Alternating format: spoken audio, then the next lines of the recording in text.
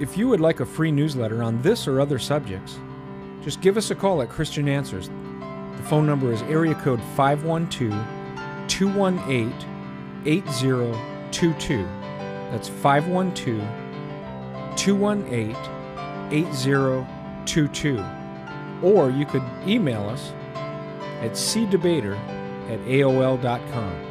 That's cdebater at AOL.com. Thank you. Hello, this is Larry Wessels, Director of Christian Answers of Austin, Texas, Christian Debater Ministries. I'm pleased to introduce to my audience a dear brother in the Lord, Richard Bennett, Director of Berean Beacon Ministries, an outreach to Roman Catholics. It is great to be here, Larry. For people that don't know you, you were a Roman Catholic priest for 22 years. Is that right? Please give us a short account of your life. Yes, I was a Catholic priest for 22 years. I was a Catholic altogether for 48 years, having grown up in Dublin, Ireland. I was trained uh, very early on in my education in what we call secondary and elementary education uh, by the Jesuits, and then I decided to become a Catholic priest, and I spent eight years uh, in preparation. It was a novitiate year, and then six years to ordination when I was ordained a priest in Dublin, Ireland in 1963, and then one year in Rome, eight years in all. Then I spent uh, 21 years in uh, Trinidad, West Indies as a parish priest carrying out the the work of a priest. I had the best academic training you could get, finishing up in the city of Rome itself, near the Vatican, and I I really had a desire to bring P- Catholics to uh, what we thought was a way of being right with God so that they could get to purgatory and then that they finally could get to heaven. And I was great for doing penances and sacrifices. And then I was very devout in Trinidad, uh, baptizing babies, hearing people's confessions, and doing all the sacraments. It was in 1972 I had a very serious accident where I was three days unconscious after the serious accident, and then after that time when I got out of the hospital in a sanatorium, I began searching in the Bible for what is truth. It took me 14 years of comparing the Bible to Catholicism before I realized that I was dead in trespasses and sins, and it was by grace alone that we are saved. I one night I got on the floor in my house and I cried out to God for faith and His grace to save a wretch like me, dead in trespass and sins, and He gloriously did that. It was about two months afterwards I very reluctantly left the Catholic Church because my prayer after I was right with God by biblical salvation was that I could really love Catholics and give them the real true gospel of grace. That is grace alone, faith alone, and in Christ alone. But then in prayer over those two months after I was saved, the Lord showed me that I could best serve Him and love Catholics if I left actually the priesthood and the Catholic Church and reached out to Catholics nonetheless. And um, I I did that. I left uh, the priesthood in 1985 and uh, reached the States in 1986. And uh, I um, I just prayed and prayed that I would have a love for Catholics to reach out I thank the Lord that after one year as a missionary in China, I was able to start the ministry that I now have called BereanBeacon.org. It is to show Catholics the real truth of where salvation is in a person, not in any church. And it is by God's grace, not by any ritual that any church does. So this has been really wonderful. I've seen priests save. I saw two priests in Poland, you know, through our ministry. We have a Polish webpage, besides many other languages, and of course in English. And I thank God that I have seen God's grace poured out, and that is my heart's desire, Larry, that Catholics would know the truth and that evangelicals in this very false ecumenical age would see the differences. Uh, I have a very interesting article on the web page. Uh, are Catholics Christians? And we've had tremendous response to that. Evangelicals whose eyes have been opened in reading that article. So it's with love for Catholics and to show the truth of Christ Jesus that God will be glorified and many, many souls saved, particularly Catholics, to the glory of His name. Outstanding. That was a wonderful testimony, Richard. Uh, could you just real briefly tell us about the? You've written some books, and you've already mentioned your ministry. But what are these books you've written, and how can people find them? Yes, I have written or edited, uh, written some and edited others, and uh, they have been amazing. I just thank God. Uh, our most well-known book is Far from Rome, Near to God: The Testimonies of 50 Converted Catholic priests. Since 1994, that book has sold steadily across the world in English and in other languages, and uh, it's on the third edition now. And uh, the other book that has my heart really displayed and my love for Catholics is the book I've written about Catholicism called Catholicism East of Eden Insights into Catholicism for the 21st Century. This book is uh, published by Banner of Truth Trust, like the uh, book of the 50 testimonies of former priests. And um, I thank God for that because the Lord has used that book and it brought many Catholics to Himself by that book. Uh, the other book that my heart was in in editing together with Mary Hertel is a book called The Truth Set Us Free 20 former nuns tell their stories, and that book has been used mightily of the Lord as well. And I thank God for the, those women, most of whom are still alive and active in reaching out to Catholics themselves. And it is just a wonderful testimony of God's grace. And the the other book I've written is called On the Wings of Grace Alone. I've edited that, and that is just 30 ordinary Catholics and uh, what we call lay Catholics and how the Lord brought them to salvation. That is a, an amazing book too. How can you obtain these books? Well, go to our webpage, bereanbeacon.org, and just go to the folder on the left hand side, books, and when you click on that, it gives all the details of how you can get those books. Outstanding. Well, Richard, uh, we're going to go into uh, showing people your videos now here across, uh, particularly our audience on YouTube. But uh, many people don't know that you and me go to the same church here in Austin, Texas. So it gives me a special opportunity to be around you a lot just so we can do ministry work. But anyway, I want to thank you for allowing us to post your videos uh, on the internet through YouTube and other internet servers. You praise God and may souls be saved and the Lord glorified. Amen and amen. Amen.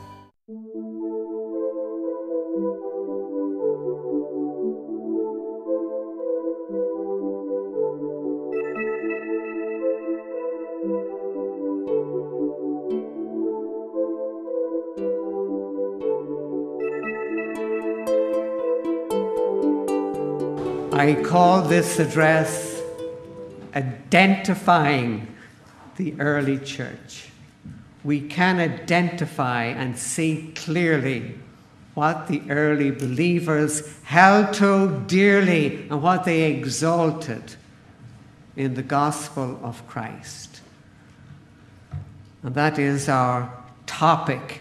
We have to see that the early believers were emphatic on what the authority was, what was the basis of truth, what they held to be the final, absolute, unbreakable standard. In the time after the apostles, when the apostles had died, that is the period of time called the post apostolic age, we had a group of preachers and teachers uh, they were known as the post apostolic fathers. They were the pastors and teachers. And they were emphatic on what was the authority they were holding to. They continually quoted only from the scriptures. And so, some of the most famous of these, to mention their names, such as Ignatius, Polycarp, Clement, Barnabas, and the writings in the Didache. I had the great privilege one time actually to go to where Polycarp had preached and taught but when I traveled in that part of the world. But these were outstanding men who knew that it was the truth of Scripture, that that could not be broken or gainsaid, as Christ Jesus himself had said, the Scripture cannot be broken. They defended the faith and they preached the true gospel of God's grace. They preached salvation by grace alone, through faith alone, and in the person of Christ Jesus. And they praised and they exalted the person of Christ Jesus the Lord. These post apostolic fathers. We had at the earliest times also those called the apologists, defending Christianity and the true gospel message against the pagans. And there are many of these, but probably the most famous are Justin Martyr and Athenagoras. In them also, like in the post apostolic teachers and preachers, the exclusive appeal is to Scripture as the authority. And it's the true gospel of God's grace through faith that is upheld. Now, it is in the late or maybe to the mid second century, so we're call, talking about like 150 AD, 160, around about this very early period that we get the first mention in Christian writing of what was called apostolic tradition, mentioning of a oral tradition that was preached. And this is the first mention in the mid to late second century. And men like Irenaeus and Tertullian, who represent a lot of these um, writings at the time, they are emphatic that apostolic tradition is simply teaching that is in line with Scripture. Otherwise, it's not apostolic tradition. so, apostolic tradition means what was handed down and is in line with Scripture. So, it's not something that is an independent source or that is in any way contradicting Scripture. Apostolic tradition is in what is in teaching with the teaching of the apostles as it was written down. And they are quite emphatic on that such as Tertullian and Irenaeus. It was Irenaeus that said that the apostles, first of all, spoke orally, and later their teachings were put down in writing, what we have the scriptures, and this became, in the words of Irenaeus, the church's pillar and ground of truth. Again, the scripture is the final authority. Now, from the very earliest days of Christendom, the four Gospels were read in different churches. They had it in different forms, like scrolls and writings, but the four Gospels were read and known among the believers. And the writings of the Apostle Paul and of Peter were known even while these men still lived. They circulated.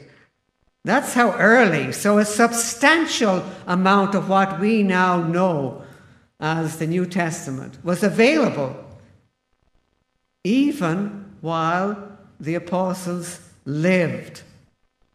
Certainly in the apostle John's time, who was the last of the apostles to go to the Lord, we had a substantial part of the New Testament, with John's own writing, finally, of course, of the book of Revelation, after he had given us the wonderful gospel of John. So these writings were accepted by the early believers as inspired written word scripture because the Spirit of God which indwelt them verified to their spirit that this was the actual Word of God and that they knew that they had received. Just as the Apostle Paul had said before, they could quote what the Apostle Paul had said received it not as the words of men, but as it is in truth, the Word of God. Praise God. They knew that they had in their hands the Word of God. Now, there were controversies about some individual books as they came to define what the canon of Scripture is. You know what I mean by the canon? That is the number of books. What exactly are the names of the books in the New Testament? There was dispute about one or two of the books, or three of the books. There was a, a dispute, but this controversy quickly ended. And what we now know as the New Testament was widely held from earliest times. Well over a hundred years or more before the full list was written out. We had a full list written out at the local council of Hippo in 393 and Carthage in 397. But many, many, many years before that. We find in the writings of the early Christians, they're quoting from all the books of the New Testament as we now know it. For example, Justin Martyr, born in or about the year 100 and who died in and about 165. He was the earliest Christian apologist whose works survive. In his dialogue with Trypho, he wrote, quotation, It was not by reason of circumcision that Abraham was justified of God to be righteous, but on account of faith. For before he was circumcised, it was said of him, Abraham believed in God, and it was imputed unto him for righteousness. End of quotation from Justin Martyr. And Clement of Rome, who died about the year 100, and he may have worked, it's quite likely, with the Apostle Paul. He wrote his own epistle to the Corinthians. He stated, quotation, Therefore, we also, being called through his, God's will, in Christ Jesus, are not justified through ourselves, neither through our own wisdom or understanding or piety or works, but through faith. End of quotation from Clement of Rome. And Polycarp of Smyrna, who was the disciple of the Apostle John, he was born about the year 69 and he died a martyr about the year 155. He wrote, quotation, The Lord Jesus Christ, in whom you believe, knowing that through grace ye are saved, not from works, but by the will of God through Jesus Christ. End of quotation from Polycarp. And Irenaeus, a disciple of Polycarp, who died about the year 190 or as late as the year 202, in his writings called in Latin Adversus Heresies, against heresies, he wrote, quotation, For as through the disobedience of one man who first was fashioned out of rude earth, many were made sinners and forfeited life, so it was necessary also that through the obedience of one man who first was born from the Virgin, many sh- should be justified and receive salvation. Irenaeus also gave a clear description of justification by faith based on the righteousness of Christ Jesus when he wrote, quotation, When Christ came, he accomplished all things, and still in the church continues to accomplish the New Testament foretold by the law. even to consummation, as also the Apostle Paul says in his epistle to the Romans.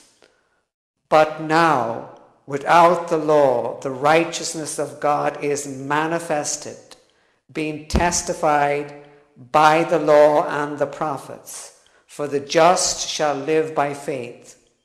But that the just shall live by faith had been foretold by the prophets.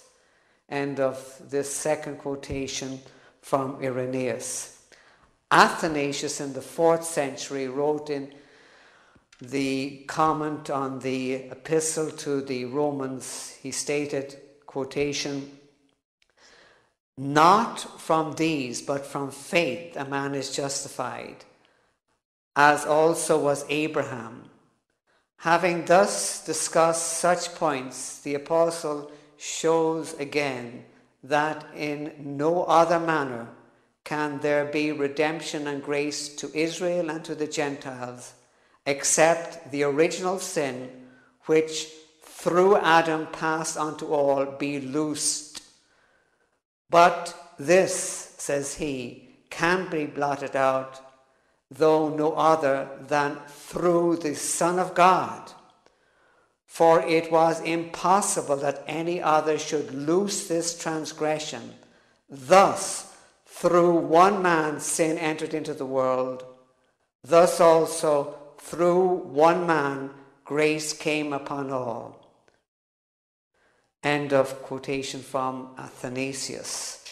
An extensive documentation of quotations from the early church is found in such books as The Doctrine of Justification and an outline of its history in the church and its exposition from Scripture by James Buchanan, published in 1867, and The Primitive Doctrine of Justification, investigated by George Stanley Faber, published in 1837.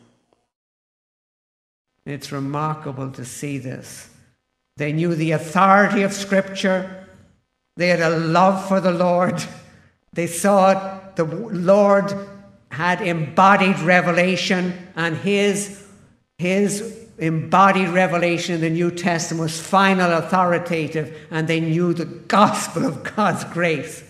Praise God, we look forward to eternity as we would share the life to come with these men and women who knew the gospel and the truth of the scriptures from the earliest times. Now, there was severe persecution by the Roman emperors, but particularly Rome itself, where the Christians suffered most. But the heroic lives of the preachers, many of whom gave their lives for the gospel besides preaching the gospel, and the heroic lives of the men and women who lived for the gospel and died for the gospel is remarkable, particularly under the, the emperor Diocletian and his co regent, that was from 303 to um, 311. That was probably the most severe of all the persecutions. Uh, we had the beginning under Septimus Severus, who died in 211, but we had horrendous suffering, torture, and death of the believers, and they stood strong. And far from exterminating the gospel, it grew. God's people grew in grace and wisdom and knowledge and love of the Lord. Now, there were some of the believers who left Rome and the vicinity, and they left to go to northern Italy and to move towards southern France. That's in the Alpine area between Italy and France. And these believers were known as the Vaudois. And they are the most famous of the early church for their loyalty and love for Christ Jesus and the gospel, and their fidelity to the scriptures, and their authentic moral life in agriculture and in the way they upheld themselves, the men, women, children. It was remarkable. The, there's many, many accounts of the, of the Vaudois. We have some with us, but there's many, many accounts with, that you can read. Uh, one of them is, is uh, George Stanley Faber, and he gives this account of how the Vaudois moved to this uh, area, what is called the Cottian, C O T T I A N, Alps, that is the Alps as they are between Italy and France. And they set up their farms, their homesteads there, and lived really biblical lives for many centuries. They knew that they went back to the original form of Christianity that had been preached by the apostles, and they were authentic to this. Now, I want you to be clear because the Vaudois are sometimes called by another name. They're sometimes called Waldenses, and you'll find books about the Vaudois and the name on the cover says Waldenses. Now, this is because one of their most famous preachers, for many centuries after they started, Peter Waldo from Lyon in France, because of his name, uh, uh, Peter Waldo, he gave the name, they became known as Waldenses. He was the famous man who led a team of many famous preachers that went across different parts of Europe. But they are the same group, even though they have different names. And sometimes people call them the Vaudois, sometimes they call them the Waldenses, but it's the same group. Um, different people have written about, them. The famous David of Augsburg calls the Vaudois successors of the apostles. They are in possession of apostolic authority and the keys to bind and unbind. Theodore Beza, the famous reformer in the 16th century, voices the same sentiment. I'd like to read Beza's exact words. As for the Waldenses, I may be permitted to call them the very seed of the primitive and pure Christian church, since they are those who have upheld, as is abundantly manifest, so that neither those endless storms and tempests by which the whole Christian world has been shaken for so many succeeding ages, and the western part so miserably oppressed by the Bishop of Rome, falsely so called, nor those horrible persecutions which have been expressly raised against them, were able so far to prevail to make them bend or yield voluntary subjection to the Roman tyranny and idolatry. End of quotation. And so Beza, like so many other famous writers and historians, sees the Vaudois, the Waldenses, as a very primitive seed of the early church. It wasn't just that part of the Alps, they moved out many places to evangelize. They were famous for their evangelism and how they moved out to other territories right across Europe. The Vaudois lived Christian lives, moral lives, and they were known for their evangelistic zeal in exalting the gospel of Christ Jesus.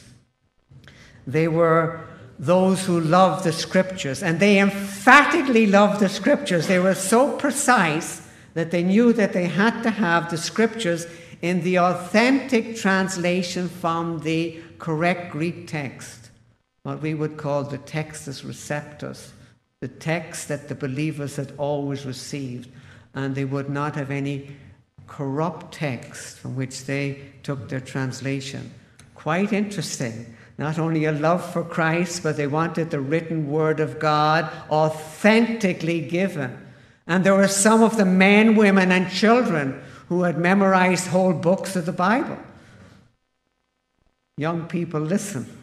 Some of those young people knew the word and could quote the word. And of course, the preachers were famous. They were stood on the principle that men had a right to preach the gospel, and they were emphatic in standing on principles of the Lord, and such as the Sermon on the Mount, and spoke against the rejection of oaths. They condemned purgatory and other Roman Catholic practices. They talked about after death there was just two places to go to heaven or hell, and it depend on hearing the gospel of Christ Jesus. They did not accept idols or imagery or mysticism in any sort of ways. And so when we have such as McLaren and Tony Jones and Alan Jones and others going back to imagery and they call ancient Christian practices, they were not found among the Vaudois. The Vaudois, Waldenses condemned them. And they were emphatic, and it's amazing because they wrote out their statements of faith as they were persecuted under Rome. And many of them died under torture in the 605 years of the Roman Catholic brutal Inquisition, many of them were burnt at the stake, they were emphatic that the man of sin of 2 Thessalonians 2 and that the Antichrist of Revelation 17 and 18 is the papal system. They were quite clear on who the man of sin is, the son of perdition. And they should know because they knew the scriptures and they lived underneath his tyrannical rule. Who try just read, say something like Wiley's history of the Waldenses to see how they were brutally oppressed, even in those higher regions of the Alps where the Romans went after them, the Roman Catholic massacring armies, sometimes burning whole parts of villages and caves where they hid men, women, and children. It's, it's really, really sad to read the history of the Vaudois, but they understood Scripture, the gospel. They understood who the Christ was and exalted him, and they understood who the Antichrist was. Now, quite interesting too is the fact that we have another group that is quite similar. They claim to go back to the Apostle Paul in the New Testament, but historically they really go back to the 7th century, but they had the name Paulicians because of their love for the apostles Paul and his writings in the New Testament. They were called Paulicians. It looks like they were founded and started in what is now modern Turkey but they suffered great persecution there, uh, for example, under the Emperor Constantine Pogonatus, who issued a decree against them in 684. He did not obliterate them, they still increased in numbers and power and gave the gospel. Another ruler there, uh, Empress Theodora, tried again to obliterate them and wipe them out in 842, did not succeed. Many of them died for the very gospel they preached. But these Paulicians had moved particularly to southern France, where they became extremely well established. And the name came changed because of the region. They were now in Albigense country, around where the modern city is of Albi in France but all around that southern part of France were the Albigenses. They were known for their agriculture, for the moral life, for the gospel, for the love of Christ Jesus, and their authenticity of the scriptures as their authority and the true gospel of Christ. A remarkable people. It's with real sadness that we account their history. We have this on our DVD, more detail with some pictures or called the DVD on the Inquisition. But it's, it's, it's heartbreaking because it was in 1203 that Innocent III, the Pope of Rome, sent the armies of the papal Rome that had been part of the crusade, now turned them against these believers and massacred their cities, were a torrent of blood, and so were their fields and their farms. They were massacred and obliterated.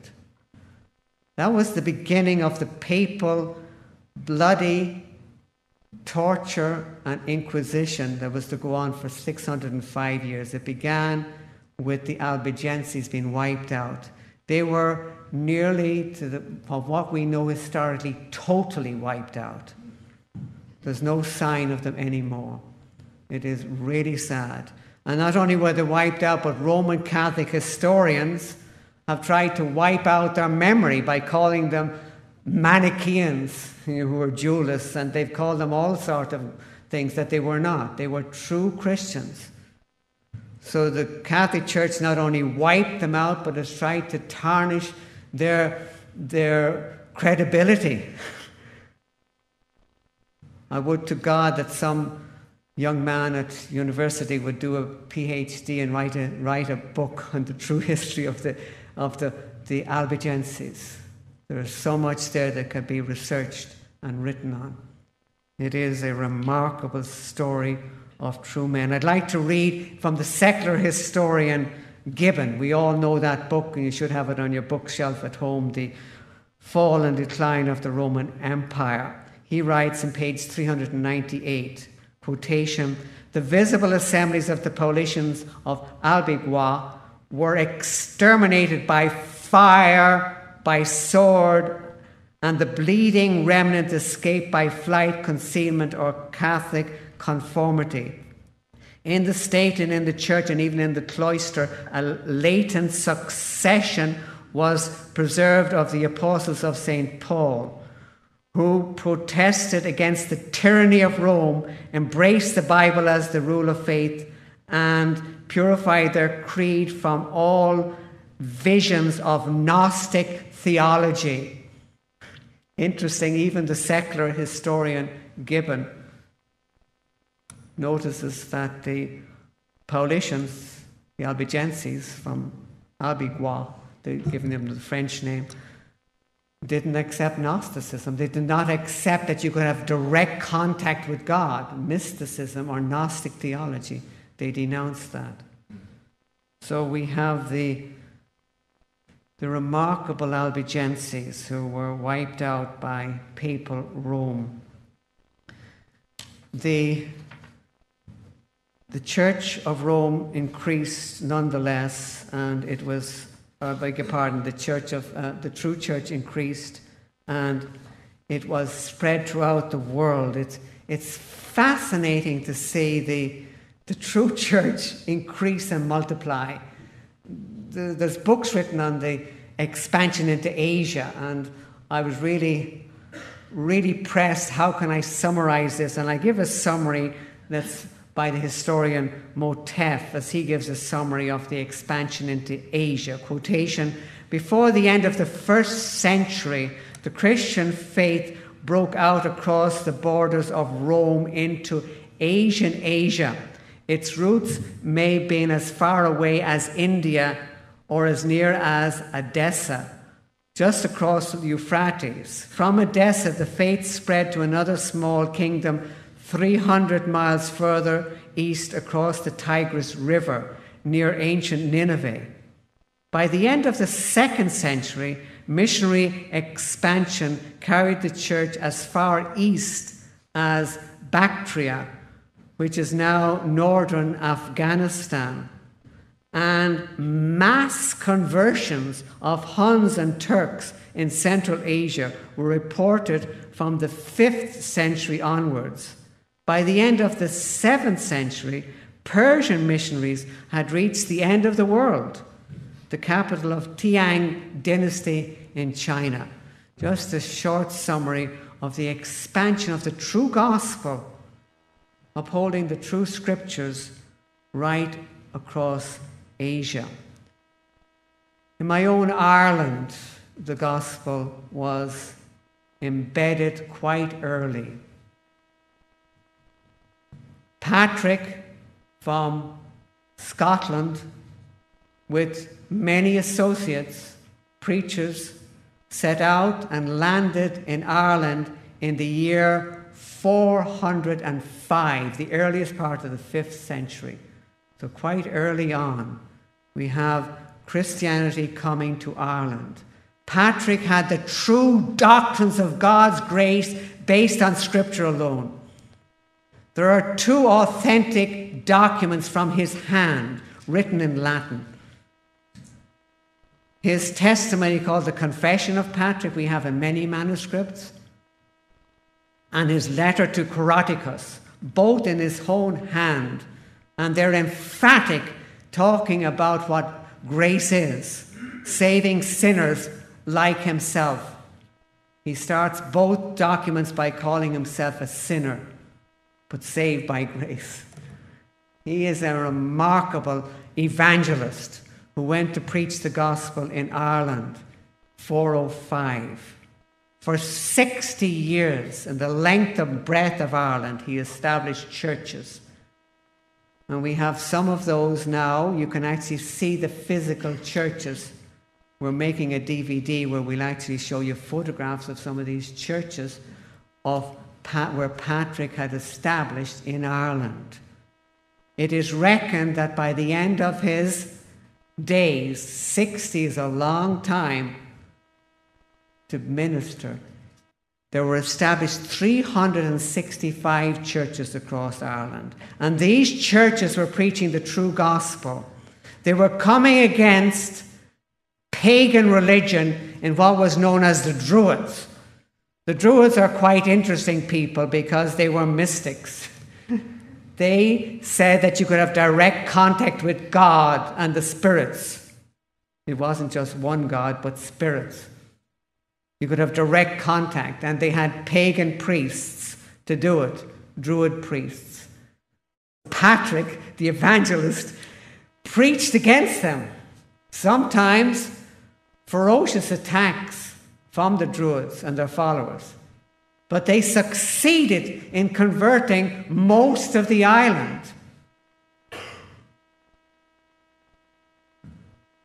And not only in those 60 years, but for 707 years after Patrick.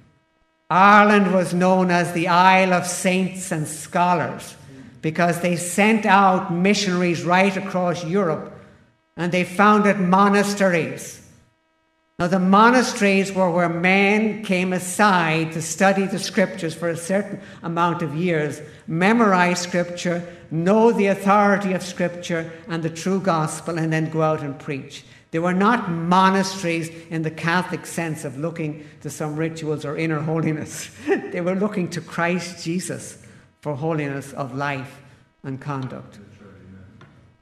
Interesting place interesting monasteries. They were very much like the Vaudois had similar monasteries. I did not mention that, but they had monasteries too, whereby men came aside to study the scriptures and then later on married and had families. But interesting, the Isle of Saints and Scholars. And we had many famous men going out. I'd like to mention a few of them. Columba, who went to Iona and then went to evangelize Scotland. I was speaking recently to some of the historians in Scotland. I was speaking to them on the telephone, and they were saying that some of their roots go back to Columba, the Irish missionary. The roots of true biblical faith went back to the missionary Columba, who set out for Scotland in the year 563. Columbanus, very famous as a missionary, went out to uh, evangelize France and Germany in 612. Why was he famous? Particularly because he not only gave the true gospel, but he withstood the papal church and infant baptism. He preached believers' baptism as it did all the early church. And the true gospel so Columbanus is known for his stand even against the papal church, besides preaching the true gospel. Kilian and his brothers set out for Franconia and Würzburg in 680, and Forannan and 12 brothers set out to bring the gospel to the Belgium uh, frontier in 970. There were 707 years of fidelity It breaks my heart because my roots and my, my birth go back to Ireland. Because that biblical faith was obliterated from Ireland. It was planned by a pope, Adrian IV, in 1155. He not only planned it, but he wrote to the King of England, Henry II. And he told him that he was to put together an army and invade Ireland, take over the princedoms and the kingdoms, bring it all under England, and bring the churches under the authority of the Roman Catholic Church. It wasn't done in that year, 1155. It was put into operation in 1171 and it was finished in 1172.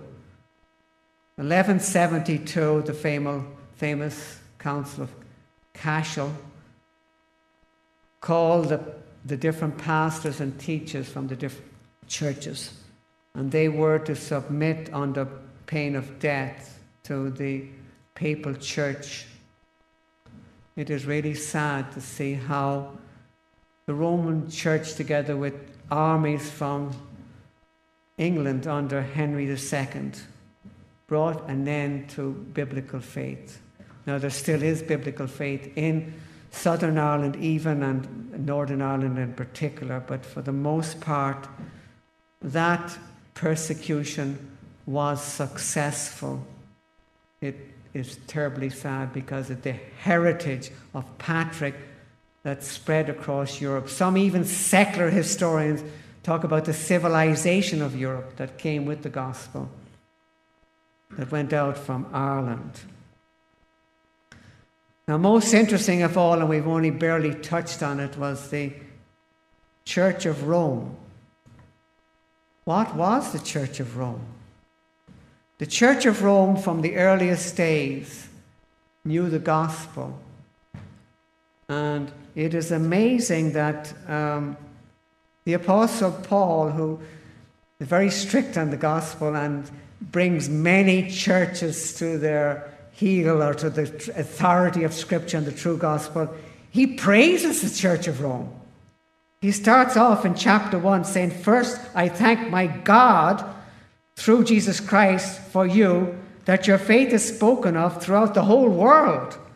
As God is my witness, whom I serve with my spirit in the gospel of his Son. He praised the believers. Who were the believers? The believers are those who met in the home churches. They did not have church buildings, they had pastors true to the gospel and the scriptures, preaching the gospel in different congregations around the city of Rome. And Paul writes to them and praises them for their fidelity.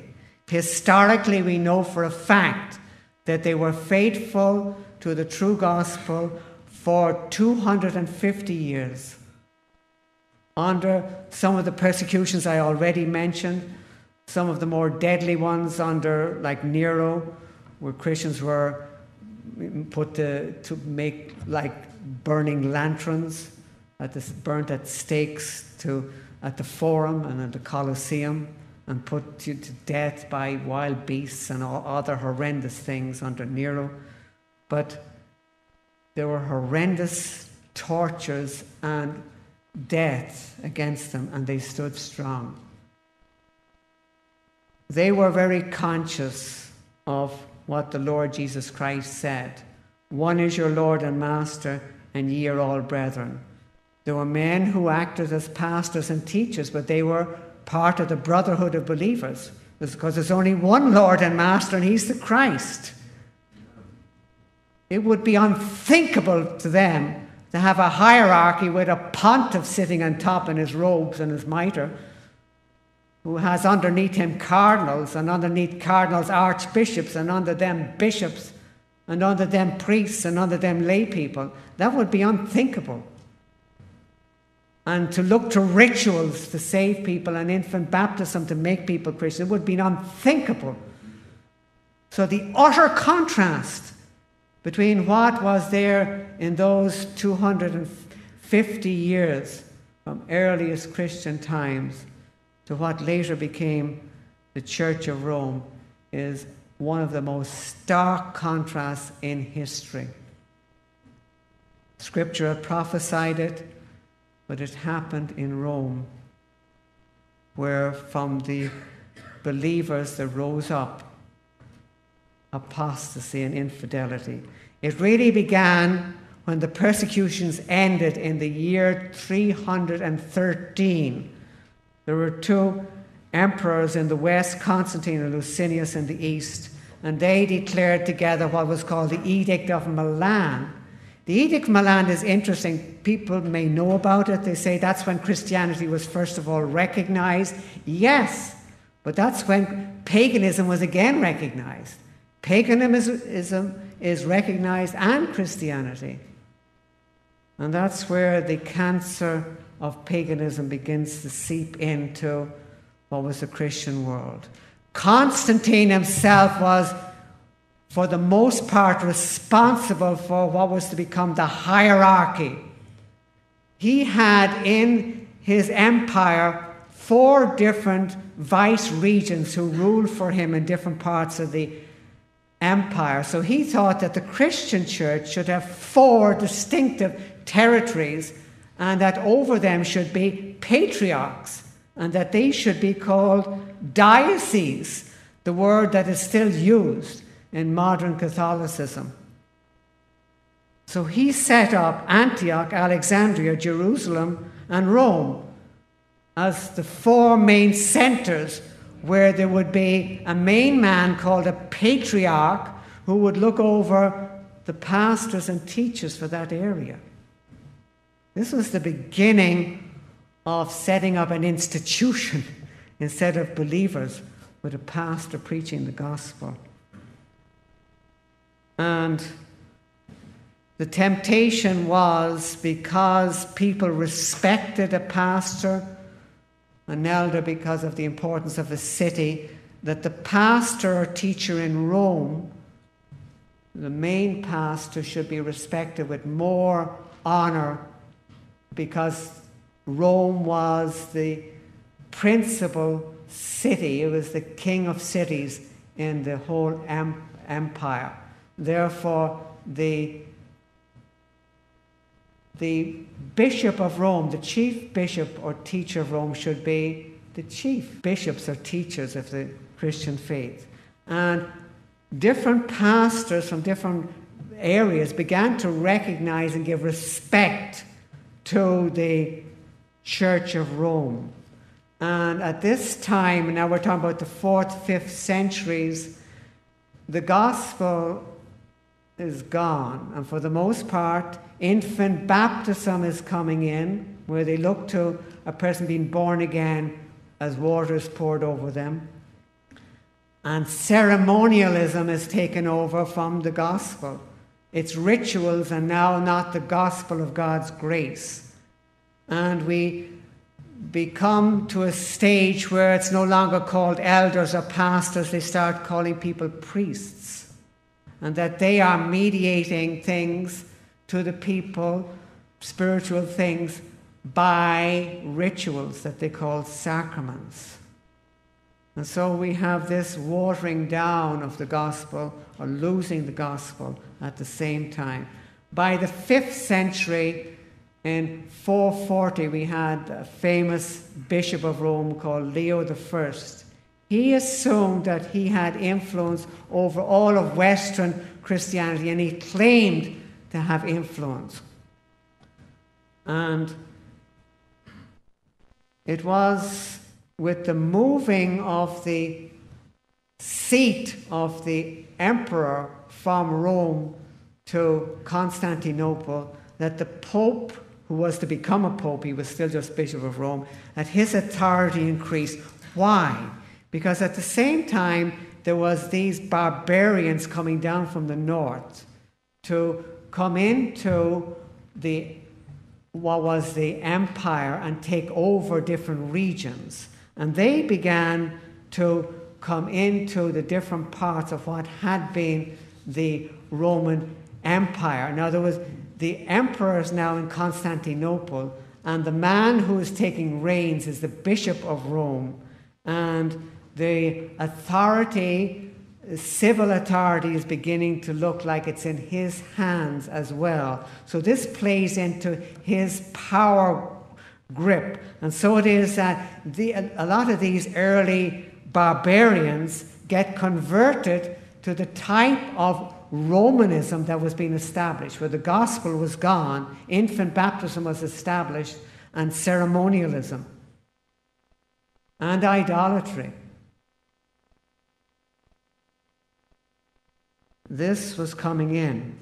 It started off with France, and it was Clovis, the king of the Franks, who made a vow on the field of the battle as he defeated the Germans called the Alemanni. He made a vow that he would become a Christian, and he was baptized in the year 496 at the Cathedral of Reims. The Bishop of Rome called him the eldest son of the church, the title that they still call the France, the eldest son of the church.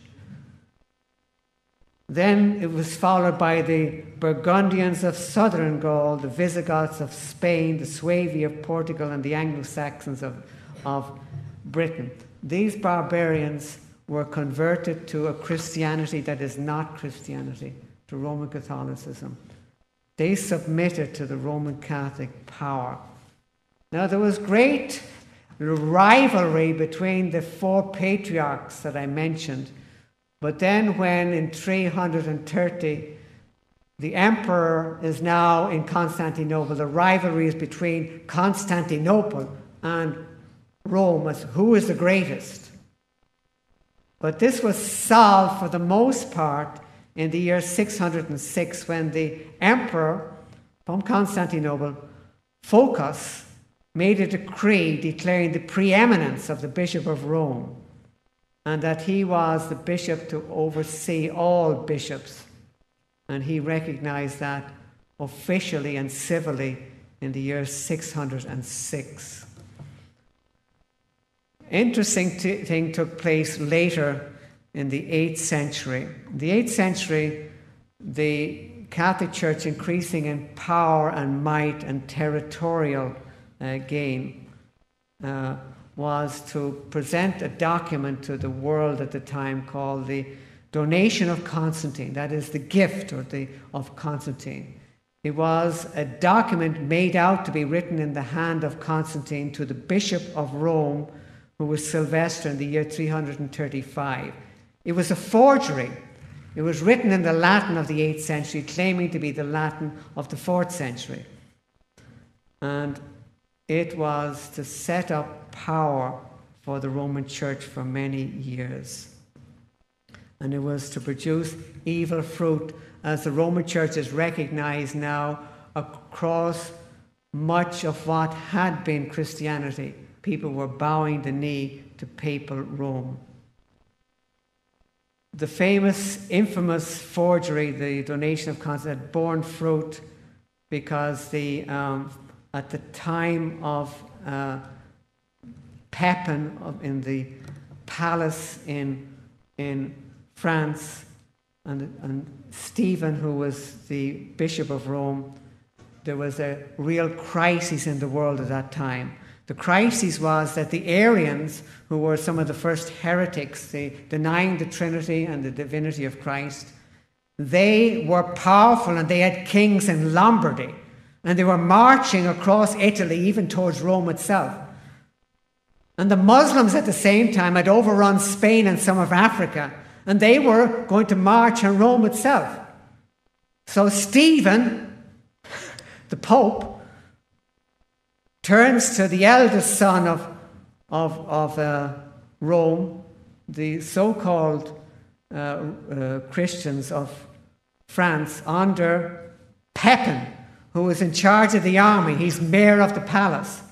Pepin wants to do a coup d'etat. He wants power for himself. So he makes a deal with Stephen, the, the Pope. If, if you get recognize me as king, I will come in and defeat the Lombards. And that's the way the deal was. In actual fact, That's the way it happened. He crossed the Alps. He came in, came in, he destroyed the Arians under their Lombard kings. He took possession of many cities right across Italy, and we had the beginning of the temporal power of the Roman Church, where they had physical territory, and the Pope is now civil ruler in many cities besides in Rome itself. That was the famous Pepin. He had a more famous son, and all of you young people should know his name, Charlemagne. If you don't know the name, well, you have to study history. Charlemagne was famous. He had conquered most of what we would now call the, the European countries. And he, on Christmas Eve in the year 800, knelt before Pope Leo III, asking that he would recognize him as emperor of the Holy Roman Empire. And the Pope placed on his head a crown. And so the Pope became one to make kingdoms. The real sad turn of history. We had then from the 8th century going to the 9th, 10th, 11th century, we have horrendous times because the papacy is now claiming power over kingdoms and princedoms. And at the same time, it becomes drunken with immorality. Some of the popes were in their teens. And the Vatican became an orgy for a lot of immorality that went on. At the same time, they're lording it over, claiming to be the head of Christianity. There were two centuries in which we had Theodora and Marozia, the two most infamous women in history. Some of their children were put on the so called chair of Peter and ruled as popes. We had two horrendous centuries of immorality. Nonetheless, the Church of Rome claimed to be the true church. Now, this is a, a real sad history of the the Roman Church. I just gave a very quick overview over to that time, you know, coming into the 10th, 11th centuries. And uh, it gets even bad right up into the 13th century. We'll see later on in the week. But it's um, under even Thomas Aquinas and later on some of the big intellects of Romanism and the immorality of Rome and the the so called Christianity that was preached. But it is really sad because they have deceived the world and they continue to deceive the world. And so many movements like the emerging church are running into the arms of Rome. The new perspective, Auburn theology, coming home movement, and we could go on and on. Evangelicals and Catholics together movement that started here in the United States in 1994. It's all bowing to Rome, bowing the knee to papal Rome. And when we even give an overview of its history, you'd wonder how anybody, not alone is their doctrine corrupt, but their morals and their teaching and their brutal inquisition in which they tortured and put to death believers. If, if a person even has a a overview of history, they would not be deceived by the deceptions of modern times. I'd like to give a quick summary of the beauty and wonder of the early church and what it was founded on. At the time when Christ Jesus came into the world, there were pagan religions. There was unity across the world, the known world at the time, because of the Roman Empire, but peace civilly, but no peace in people's hearts. Immorality and horrendous standards of living. And then came the gospel of Christ Jesus.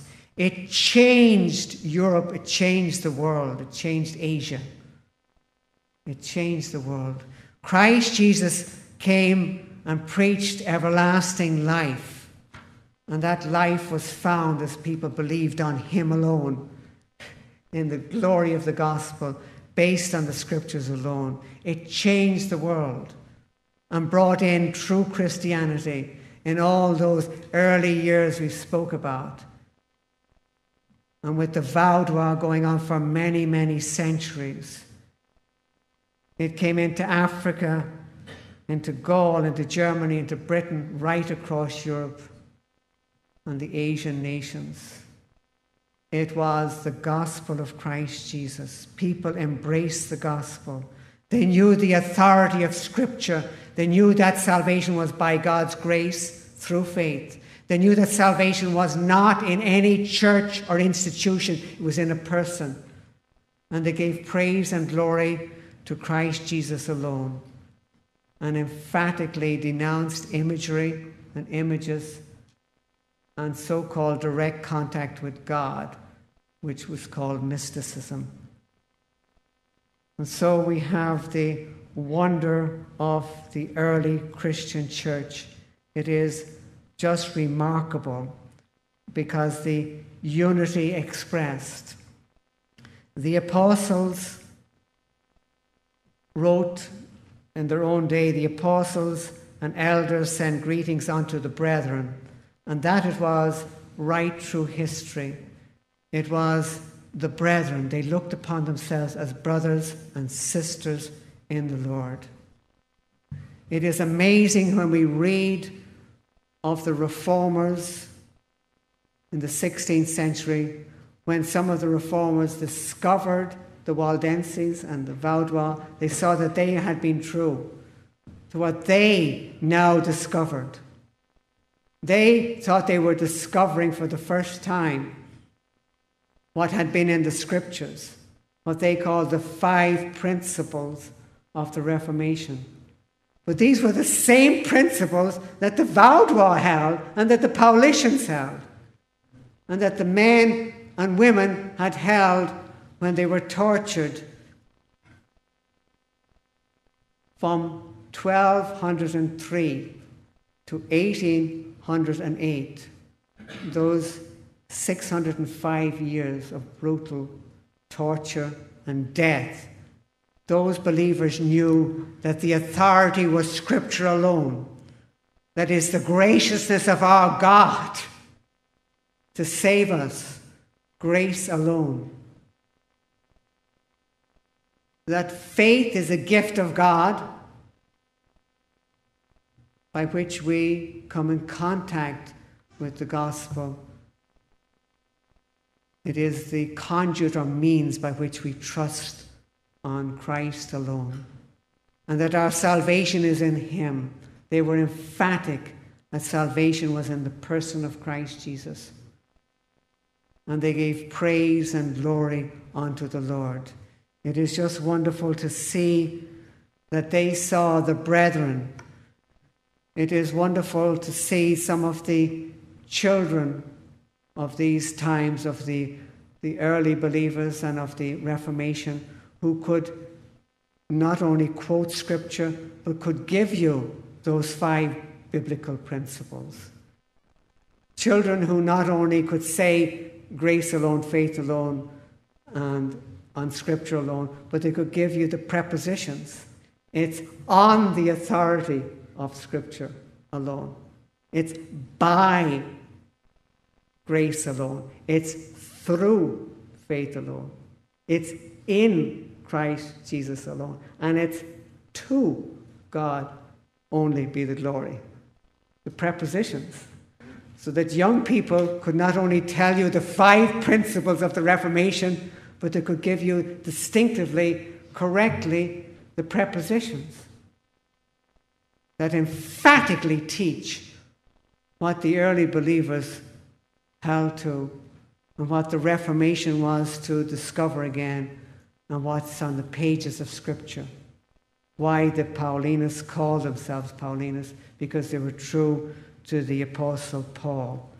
And so this is the, the teachings that were emphatic in those days and which were really distinctive. It is really horrendous and it breaks my heart to say it. I've done a tremendous amount of research and reading on the Vaudois, the Waldenses, and to see how true they were to biblical faith through most horrific sufferings. It wasn't until the 20th century that the Vaudois, the Waldenses, ceased to be biblical Christians. They caved in in what we knew as the false ecumenism of the 20th century. There are now in Italy still churches that call themselves Waldensian Church, but they do not know their history and they do not know the true gospel.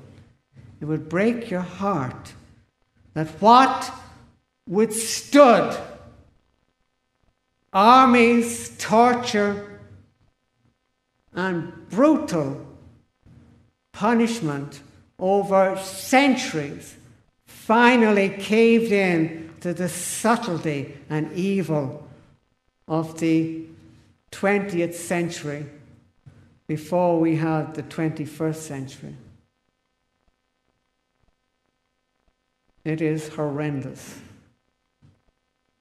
And this was before we had evangelicals and Catholics together. We had such people as Billy Graham, you know, going to see Cardinal Cushing in Chicago, visiting the Pope, and having priests and nuns as counselors at his crusades, and other famous evangelicals bowing the knee to papal Rome. Finally, the Vaudois give in to papal Rome and accept it and give up their true gospel in the 20th century. It teaches you who are alive today and truly Christian that you must contend for the faith once delivered to the saints. It is for you to give the gospel and to be true to the gospel of God's grace because that is what it all stands for and to stand with a zeal that you not only know the scriptures, but that you have an urgency to give that gospel. When you go out to a restaurant, do you give the gospel to the waitress? When you go to supermarket and you're coming out at the checkout counter, do you ask the checker, what is your goal in life? That's my usual question. And they say, well, I have another job and I'm trying to go to, I've, I've this job and I'm trying to go to college. I want to settle down and get married. What is your goal before the All Holy God? Interesting. You can give the gospel even in the express lane at the supermarket. Interesting. Here on the East Coast, like on the West Coast, it's particularly important to witness at banks. They're taught customer service and they must be kind to you and nice to you. and you can give them. It's interesting because it's often first time, it's first time job. And you find people from European countries who speak English as their second language. And you can start witnessing with other languages. I know I've found that on the West Coast. You start bringing other tracks in other languages to the bank. When you see somebody saved at the bank, know that you've been like the early believers. or where you see somebody saved, like your hairdresser. Have you ever witnessed to your hairdresser? Have you ever witnessed to the UPS man? He's one of the hardest people to witness to. But this is whether we're true to the gospel. You young people, when you go out at school, you find that you have Catholic friends at school. Do you witness to them? Or Greek Orthodox, which are quite similar to Catholicism? Do you give the gospel? Are we true to the Lord? Do we have a love? Are we willing to share that? It is not simply that we have commandments, thou shalt not commit adultery, thou shalt not steal. We have the great commandment or the great commission go ye and give the gospel to all creation. And that starts in our daily evangelism. And that's where we see really churches grow as people come in who are saved from everyday life. I believe that men should go out door to door. It's something I've done myself. And I have done some street witnessing. But the witnessing is for all men, women, and children in our daily lives that we give witness to the gospel of God's grace. And there's anybody here tonight as a visitor who maybe you are Catholic or maybe you just came out of interest and you don't know Christ Jesus, I would say to you what Christ Jesus himself said when he was asked by the Jews, What must we do that we may do the work of God? They want to know how to be good people. What good things must we do? And Jesus said to them, This is the work of God, that you believe on him whom he has sent. It was God's work already done that you trust on Him. That is, Christ was speaking about Himself, whom, whom God had sent. You trust on Him, His finished sacrifice and perfect life. I'm happy with my sacraments. That's all I know. That's what my grandparents knew. That's all I've ever known. Well, you're just like the Pharisees. And Christ Jesus looked them in the eye and he said, If you do not believe that I am He, you will die in your sin.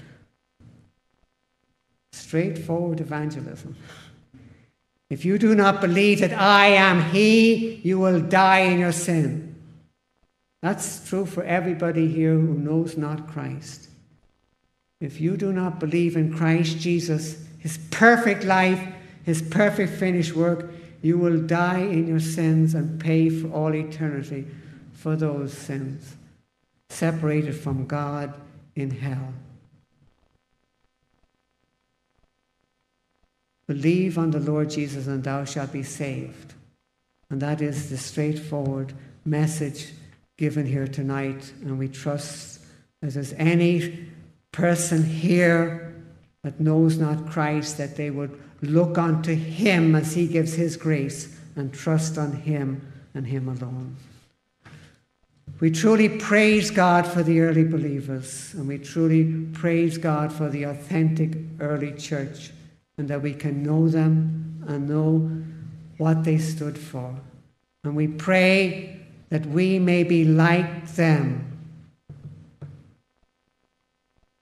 And as many of them had memorized scripture that, like unto them, we could say the words of the apostle that we are accepted in the beloved to the praise of the glory of his grace.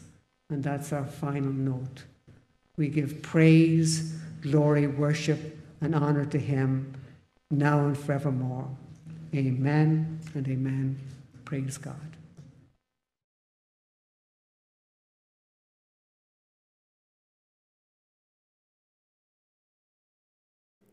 If you like our YouTube channel, please subscribe by clicking on the subscribe button and then by also clicking the bell above to get an automatic update whenever we produce another YouTube video for our See Answers TV channel. Please share our videos with your friends and relatives. May God bless you. Only one life will soon be passed. Only what is done for Christ will last. See related videos by tapping or clicking screens.